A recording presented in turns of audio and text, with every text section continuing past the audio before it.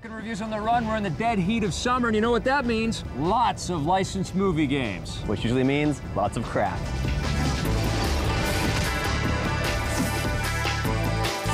Today on Reviews on the Run, Ryan and I are taking a look at Harry Potter and the Order of the Phoenix, Spider-Man 3 for the Wii, Call of Juarez, and in Versus, it's Tamagotchi Party On against Mario Party 8.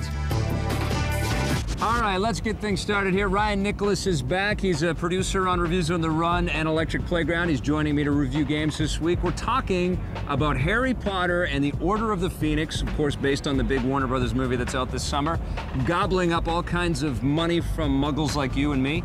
And uh, this is out now on the PlayStation 3 and Xbox 360 and the Wii and every other system Everything. known to man. Everything. We looked at it on the PS3. What did you think of Harry Potter and the Order of the Phoenix? Well, first thing I saw about this game was it looks great. I Yeah. mean, it really felt for the first time in a Harry Potter game, you're at Hogwarts. Yeah. You're, you're in that world. And Right. you can just I won't call it Grand Theft Potter, but it's, you're kind of running around and kind of have some more open-ended stuff that you can Theft do. Broomstick. Yes. Yes. Sure. Grand Theft Grand Theft Wand. Grand Theft Wand. But yes. you can, you have some, you know, different open-ended gameplay. You can run around and it looks, it does look good. But I just found after a while, I realized that I kind of wasn't really doing anything at all. Well, it's an adventure game.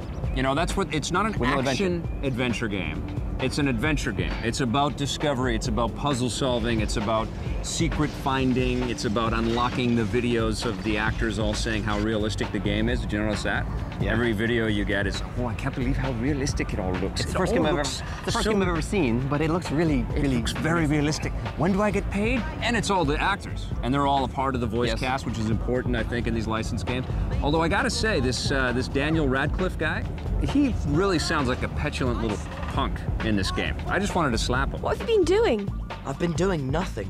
You've had all the fun here at the headquarters of the Order.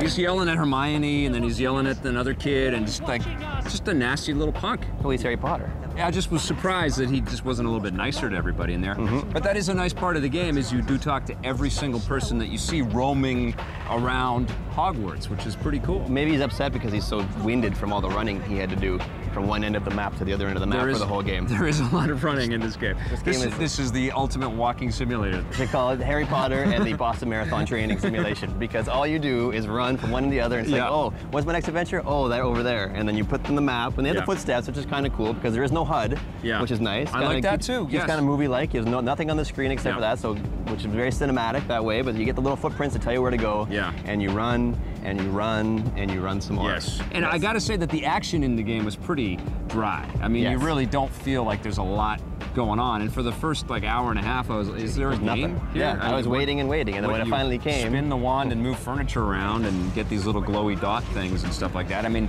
I've had more fun with previous Harry Potter games, though. I got to be honest. I can't Yeah. remember which one because there's been about 75 of them now, but they all run into each other. yeah, Kinda. and like an earlier one, I think on the GameCube, I really enjoyed. And this one, I liked. It kind of reminded me of the the longest journey and some of the the sort of more classic PC adventure type experiences that I've had out there. Yep. But I I just wanted to fight somebody. I, I don't know. I wanted to pull a sword out of something and just start hacking at people after a while. Maybe the kids. You'd think it's a I game based on a movie and books that you they put all the action in the game because it's interactive. Yeah. But I just felt like I was watching. Yeah. A lot of the time. You do get into wizard battles, but you know. Did you use the six-axis control? I did a little bit, but but it's really just to point your wand. It's not to like to do much. I thought it was funny that the default in the game is for it to be off. Yeah. So that shows how much the, that shows how much the developers uh, thought of their uh, six-axis Yes. controls. That Yes. like, it's off, but you know, try it if you want to. You know, it, Good luck with that. It's kind of like an interactive postcard for Harry Potter fans, isn't Mm-hmm. it? Wish you were here. Actually, you can feel like you're there.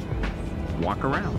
I'm not crazy about it. Five out of ten. Yeah, I'm gonna give it a five and a half. On the positive side, this is the first time that Hogwarts has been created in all its glory, and it looks great.